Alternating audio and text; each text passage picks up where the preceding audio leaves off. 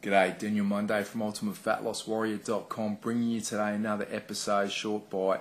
Today we're going to discuss whether sport drinks are any good. You know the type, Lucozade, Gatorade, Staminade, Powerade, all those type of brands, whatever you want to call them, they're all the same sort of thing. Now, a lot of people will have you believe that these things are okay to have, okay, after you train. Well, here's the tip. When you're training for fat loss, and this is for people that are training for fat loss, it's going to be useless. The reason being, these sports drinks are only going to be beneficial for activities and events that are lasting for longer than an hour. Okay, now that might mean it's okay if you're a marathon runner, if you're if you're training for a triathlon, those type of things. Then yes, you may get some benefit from it.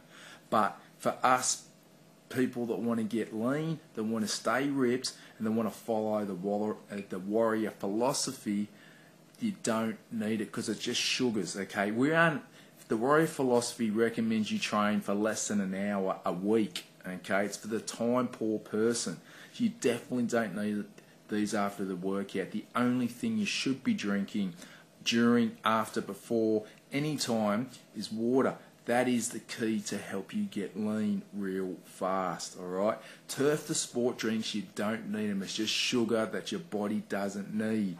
Cut it out We'll get that warrior body. We'll get you looking ripped. We'll get you looking fit. Go to ultimatefatlosswarrior.com. Check out the blog. This has got more warrior information for you to keep you on the right path. Over and out.